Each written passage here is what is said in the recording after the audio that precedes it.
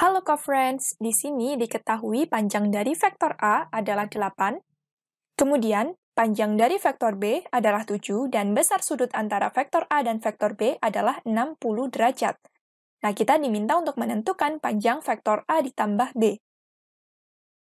Nah, kalau digambarkan akan seperti ini.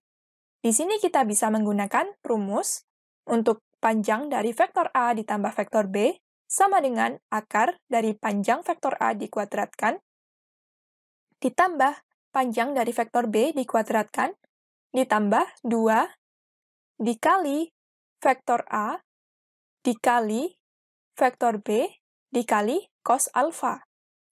Nah, di sini untuk panjang vektor A bisa kita masukkan di sini 8 dan panjang dari vektor B adalah 7. Maka 8 kuadrat hasilnya 64 ditambah 7 kuadrat adalah 49 ditambah 2 dikali 8 dikali 7 dikali cos 60 derajat. Di sini, nilai dari cos 60 derajat adalah setengah, maka setengah dikali 7 dikali 8 dikali 2 hasilnya adalah 56. Untuk akar 64 ditambah 49 ditambah 56 sama dengan akar 169 atau sama dengan 13. Maka di sini jawabannya adalah yang C. Sampai sini, mudah bukan? Sampai jumpa di soal berikutnya.